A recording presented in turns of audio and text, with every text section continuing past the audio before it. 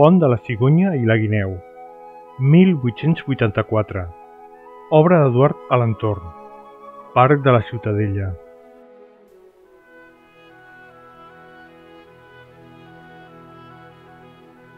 És una font d'obra vista en dos nivells, amb dos en forma hexagonal.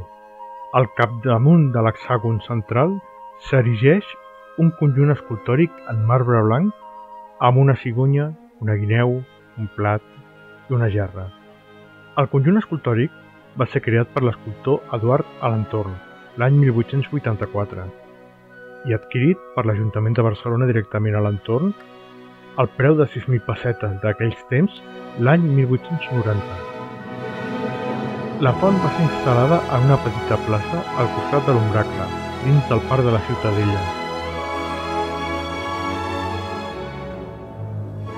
La font de la cigonya i la guineu s'inspira en la faula de la cigonya i la guineu d'Isop, segons la versió de Jean de La Fontaine. Una guineu va convidar la cigonya a dinar a casa seva i li va oferir sopa.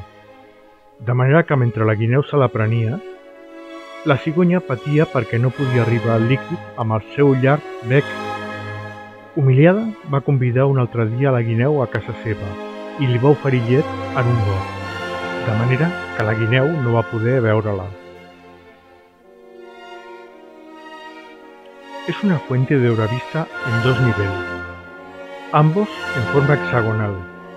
En lo alto del hexágono central se erige un conjunto escultórico en mármol blanco, con una cigüeña, un zorro, un plato y una jarra. El conjunto escultórico fue creado por el escultor Eduard Alentorn en 1884 y adquirido por el Ayuntamiento de Barcelona directamente a Alentorn al precio de 6.000 pesetas de aquellos tiempos, en 1890. La fuente fue instalada en una pequeña plaza junto al Umbracla, dentro del Parque de la Ciutadella, la fuente de la cigüeña y el zorro se inspira en una fábula de la cigüeña y el zorro de Esopo, según la versión de Jean de La Fontaine. Un zorro invitó a la cigüeña a comer en su casa y le ofreció sopa. De manera que mientras el zorro se la tomaba, la cigüeña sufría porque no podía llegar al líquido con su largo pico. Humillada, invitó otro día al zorro a su casa y le invitó leche en un vaso alto, de manera que el zorro no pudo beberla.